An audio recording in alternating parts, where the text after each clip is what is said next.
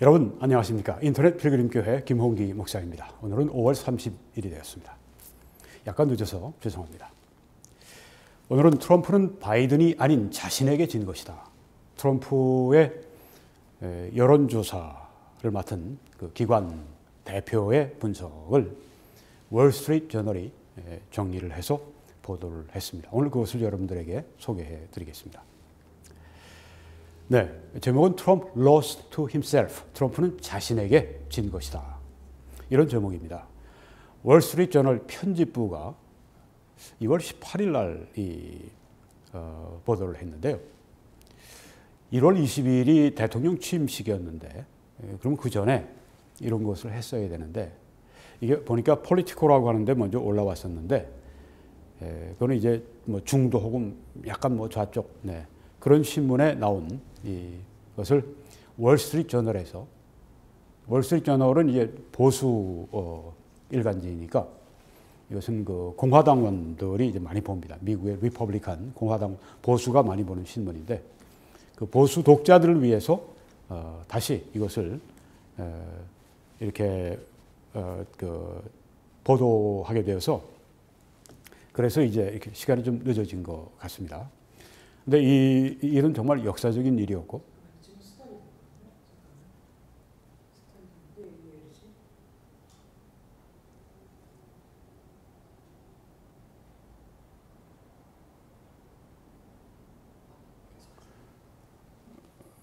어, 이 일은 어, 그, 네, 조금 더 기술상의 문제가 있어서 잠깐 끊겼습니다. 계속하겠습니다. 네, 이 일은 역사적인 사건입니다. 네, 그래서 또 이 글 평가 분석도 역사적인 평가고 예, 그래서 음, 제가 이것을 여러분들에게 소개해 드릴 필요가 있다. 또 아무도 이런 일을 안 합니다. 예, 그냥 유행 시류에 따라서 인기가 있을 것 같으면 방송하고 없으면 그냥 안 하고 완전히 상업적인 목적이죠. 우리는 그게 아닙니다. 우리는 진실을 추구하고 또 이 사회의 빛과 소금이 되기 원하고 양심의 목소리가 되기 원하고 하나님 앞에 정직하기 원하고 그러기 위해서 우리가 이 방송을 하고 있기 때문에 우리는 인기 없는 이런 방송일지라도 욕을 또 많이 먹어요. 이런 방송하면. 네, 뭐 억한 심정이 있어서 트럼프에 대해 억하겠어요.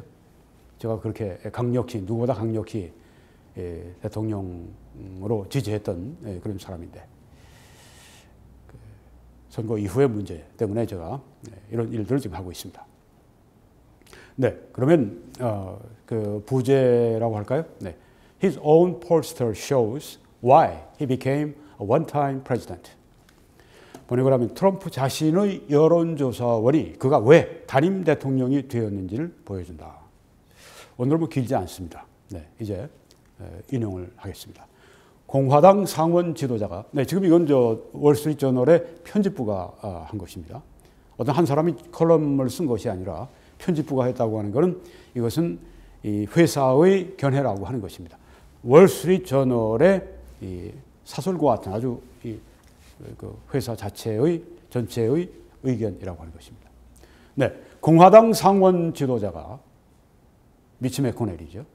1월 6일의 의사당 폭동에 대해서 전 트럼프 대통령이 실제적으로나 practically 도덕적으로나 morally responsible 책임이 있다. 뭐 말을 했죠. 네. 그 의사당에서 어, 회의하면서 그 이야기를 했습니다. 강력하게 했습니다. 트럼프가 이 의사당 폭동에 대해 실제적으로나 도덕적으로 책임이 있다. 아주 강력하게 얘기를 했습니다. 그렇게 말한 후에 이번 주에 도널드 트럼프는 이 미치 맥코넬에 대한 개인적인 공격을 시작했다. 맥코넬은 뭐 우리가 방어해 줄 필요가 없지만 우리는 공화당 유권자들이 2020년 선거의 역사를 다시 쓰고자 하는 트럼프의 시도를 믿지 않기를 바란다. 이분들은 어, 여러분들이 그 월스트리트 저널을 저처럼 정독을 하면 아십니다. 진짜 보수예요. 일반 다른 뭐 워싱턴 포스트 무슨 뭐 그 뭐 뉴욕 타임스, 뭐 NBC 이런 데하고는 질적으로 다릅니다. 방향이 달라요. 트럼프를 밀었고요. 네. 근데 이제 선거에 대한 이 주장이 잘못됐다 해서 이제 그 부분에서는 반 트럼프가 되어 있는 거죠. 네. 트럼프의 시도를 믿지 않기 바란다. 트럼프의 진술은 그가 선거에서 이겼다고 주장하지는 않았지만 그가 역사상 현직 대통령 가운데 가장 많은 표들, 즉, 약 7,500만 표를 받았다고 자랑하면서 공화당의 모든 승리, 그때 뭐 하원, 또 상원, 주지사 선거가 다 있었어요. 그러니까 총선거였습니다.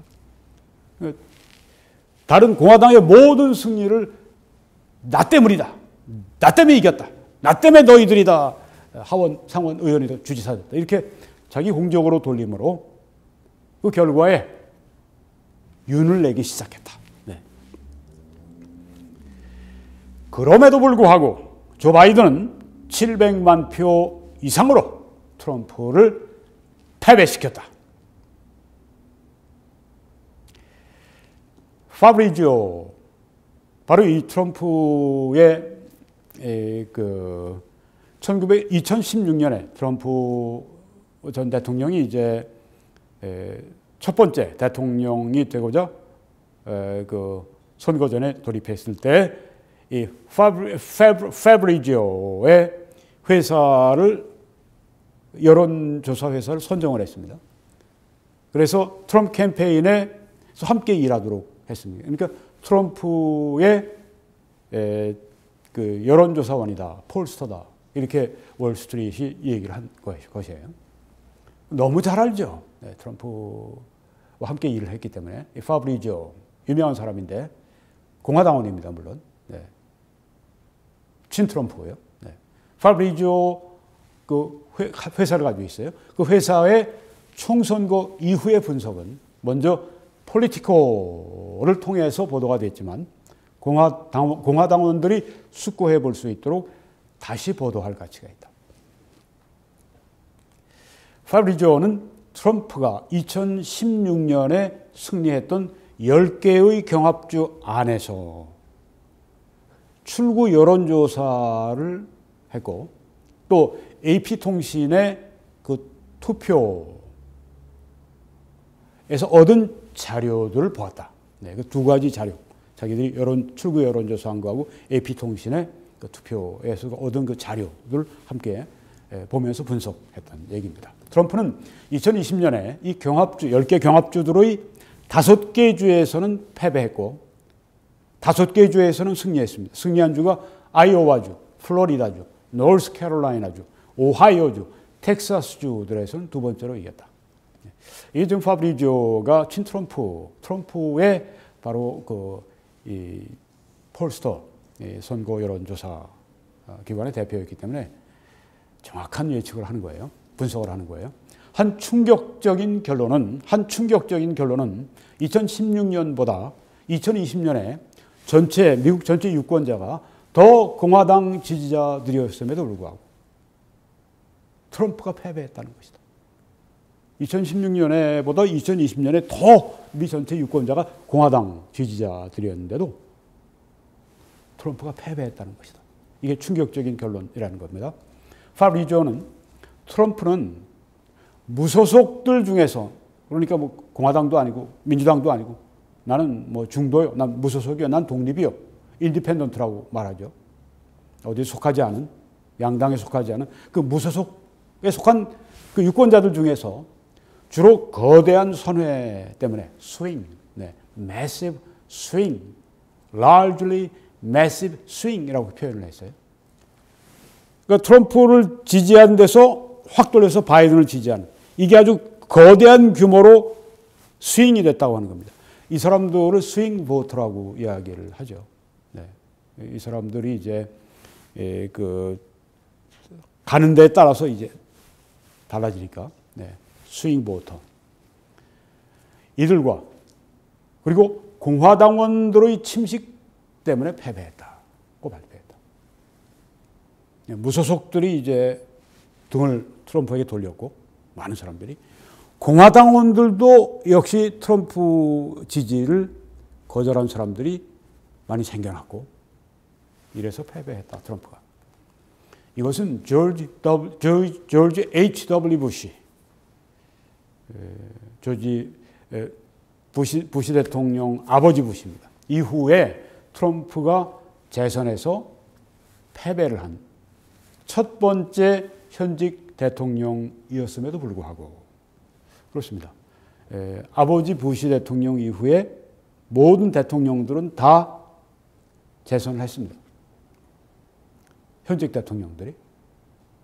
그냥 트럼프 때에서 끊어진 거예요. 이랬음에도 불구하고 어떻게 어떻게 하원에서 공화당이 12석을 늘렸는지를 설명하는 일에 도움을 준다. 트럼프는 졌는데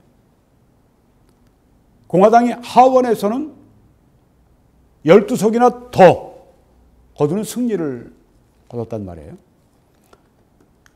지지에 대한 이러한 침식의 대부분은 트럼프 지지에 대한 이러한 침식의 대부분은 트럼프에 대한 개인적인 비호감 때문이다. dislike. 트럼프에 대해서 개인적으로 디슬라이크, 좋아하지 않는다. 그가 대통령, 트럼프가 대통령직을 다루는 방법에 이 침식의, 침식의 토대를 두고 있다. 네.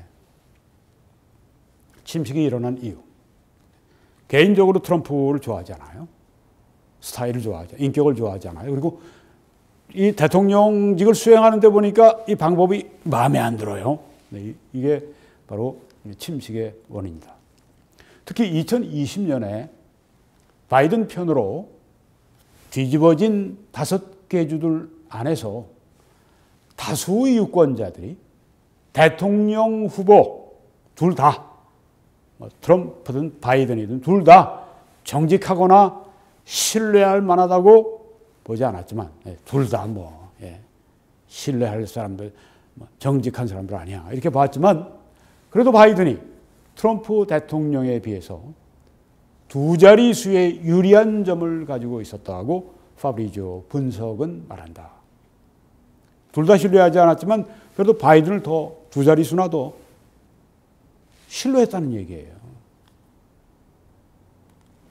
트럼프는 경제에 있어서 유권자들 사이에서 6대 1로 선호되었다. 와, 당연하죠. 뭐 예, 경제가 얼마나 좋았습니까? 50년 만에 최대 예, 그 경제 폭발이었는데 그러나 코로나 바이러스는 양쪽의 주들에서 그러니까 뭐 다섯 주 뒤집어진 바이든에게 뒤집어진 다섯 주, 또 트럼프가 승리했던 다섯 주, 양쪽의 주들에서 열주 다 코로나 바이러스가 유권자들의 첫 번째 이슈, 문제였고 코로나 바이러스가 제일 문제였다. 경제보다 더. 네. 바이든은 그 유권자들을 3대 1로 가져갔다. 코로나 바이러스를 다루는 문제에 있어서는 트럼프보다 유권자들이, 미국 유권자들이 바이든이 더 잘해. 3대 1로 바이든이 그 더 많이 유권자들이 그에게 표를 줬다는 이야기입니다.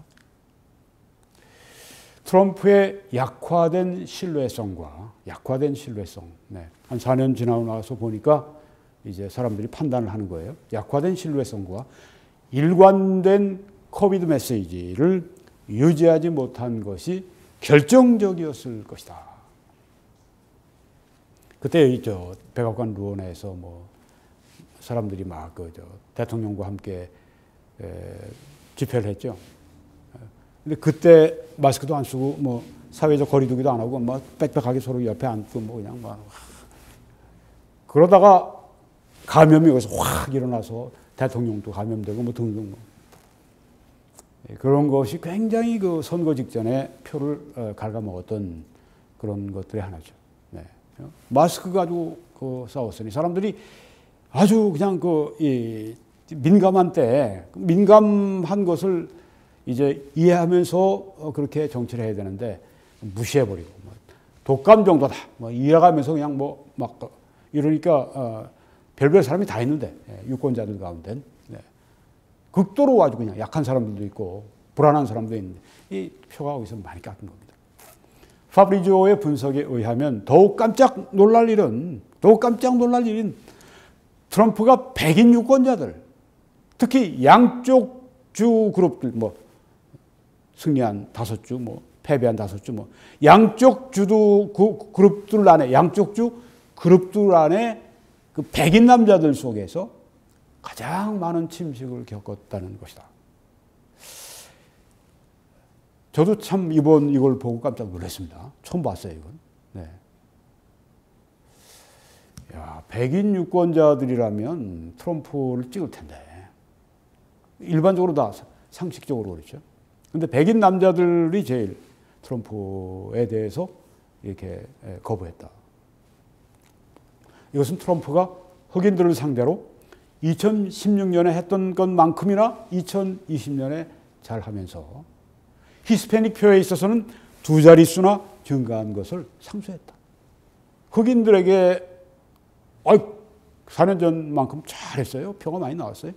히스패닉은 오히려 표가 전보다 두 자릿수나 증가했어요. 그럼에도 불구하고 백인들 남자들이 그렇게 지지하지 않음으로 말미암아 어, 진 것이다. 이렇게 파브리조가 분석하는 것입니다.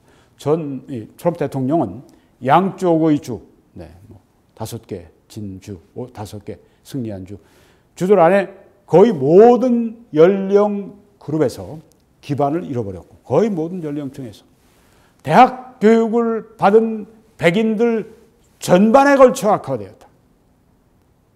교육을 받, 대학 교육까지 받은 제일 교육을 많이 받은 이 백인들 이거 미국의 줄이죠. 이 전반에 걸쳐 악화되었다. 어, 저도 이번에 백인들이 이렇게 반기를 들었는지는 이 분석을 보고 처음 알았습니다. 우리는 쓰라린 아물지 않은 정치적 상처를 문지르기 위해서 이 모든 것을 반복하는 것이 아니다. 요점은 이것이다. 즉 세월이 흐르고 트럼프가 그의 패배에 대해서 모든 사람들을 비난할 때, 뭐, 뭐, 뭐 어떤 사람, 그 별별 얘기가 다 있어요. 네. 네. 2020년은 네. 이길 수 있는 선거였다는 것을 기억하는 것이다. 2020년은 이길 수 있었다. 트럼프는 칭찬할 만한 많은 성취를 했고 유권자들은 그것을 알고 있다. 그것들을 알고 있다. 네. 여러 가지 정말 성취를 많이 했죠. 경제는 말할 것도 없고 국방도 그렇고 네. 미국의 유권자들은 그것들을 알고 있다. 그러나 더 조용하고 더 통합된 정치로 돌아가자고 하는 바이든의 지속적인 캠페인 메시지. 바이든은 더 조용한 정치, 더 통합된 정치. 뭐 그 사람 그, 그 바이든의 얘기는 과거의 미국의 정상으로 돌아가자. 정상 상태로 이 캠페인 메시지가 트럼프로 말미암은 끊임없는 혼란에 지쳐 있던 수많은 유권자들 사이에서 반향을 불러 일으킨 것이다. 여기 트럼프 털모일이라고 이렇게 표현을 했어요. 네. 트럼프 혼란. 네. consistent Trump turmoil. 트럼프 때문에 끊임없이 혼란이 일어나는 여기 학을 띄었다는 거예요. 많은 유권자들이. 네. 그래서 더 조용하고 또 통합된 정치, 그 미국으로 돌아가자고 하는 그 바이든에게 표를 줬다. 트럼프는 그래서 조 바이든에게 진 것이 아니다. 그는 자신에게 진 것이다. 자신에게 진 것이다. 책임을 다른 사람에게 미루지 말고 네, 자기에게 네, 책임을 물으라고 하는 것이죠. 네. 네, 그 참 역사적인 선거였는데 예, 그 트럼프 대통령이 예, 재선되지 않은 게 참 정말 안타까운 일입니다. 미국을 봐서. 그런데 어떡하겠습니까? 예, 미국민들이 결정을 했고, 뭐, 그, 부정 선거니 뭐, 저는 그 믿지 않습니다. 왜냐하면 트럼프의 신복이었던 윌리엄 바 법무장관이 FBI 시키고 뭐, 완전히 조사를 끝내고 난 다음에 대규모 선거 사기, 그래서 선거 결과가 바꿀 만한 일은 없었다. 이렇게 얘기했기 때문에 네. 크리스토퍼 크랩스 같은 그런 그 사이버 안보 전문 예, 그 국장이 또 가장 공정한 선거였다고 이야기를 했고 또 60, 한 번, 두 번 미 법정, 뭐 여러 법정이죠. 대법원, 또 고등법원, 일반 법원, 지방 법원 싸웠습니다. 예, 전패했습니다. 전패, 전패. 예, 그런 사기, 대규모 선거 사기 없었다. 예, 완전히 예, 그 사법부를, 미국 사법부를 졸로 보지 않으면 한국 사람들은 그럽니다. 한국, 그러니까 한국에 뛰어가지고 한국 상황 때문에 미국도 그렇다고. 그게 단순 비교하는 게 맞지가 않죠. 미국은 그렇게 사법 체계가 엉망이고 한국처럼 지금 그렇게 완전히 망가진 고장난 기울어진 운동장이 전혀 아닙니다. 전혀 아니에요. 이번에도 선거에서 하원이 그렇게 12석이나 더 공화당이 가져온 것은 무엇을 말하는 것입니까? 부정선거가 없었다는 얘기예요. 나중에 두 석을 조지아주에서 결선을 잃어버린 것은 트럼프가 계속해서 선거가 부정 사기였다고 얘기를 하니까 그 공화당 트럼프 친 트럼프 공화당 유권자들이 안 나간 겁니다. 나가서 공화당 후보를 찍지 않은 거예요. 왜?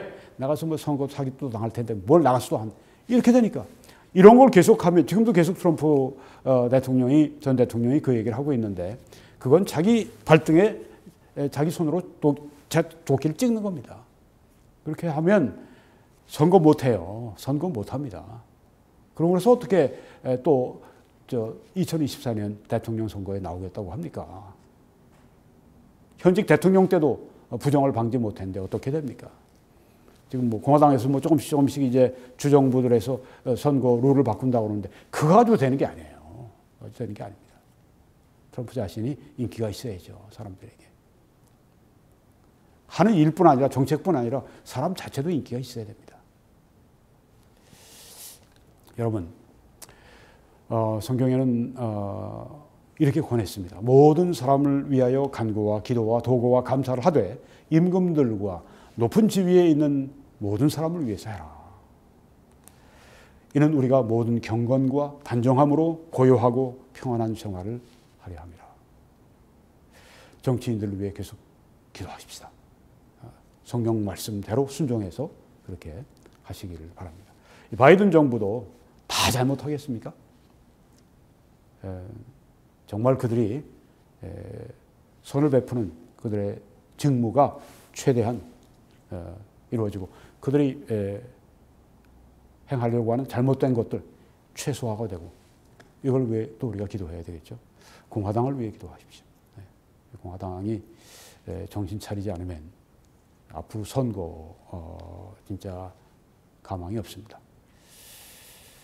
하나님께서 우리들에게 새로운 마음을 주시기를 간절히 바랍니다. 이 사역을 위해 함께 기도해 주시고 전파해 주시고 또 헌금으로 함께 해 주시기를 바랍니다. 그런 분들에게 하나님이 크게 축복하시기 바라고 여러분 모두에게 또 미국과 우리 한국, 캐나다 그리고 여러분 계신 곳에 하나님의 은혜가 넘치시기를 간절히 기도합니다.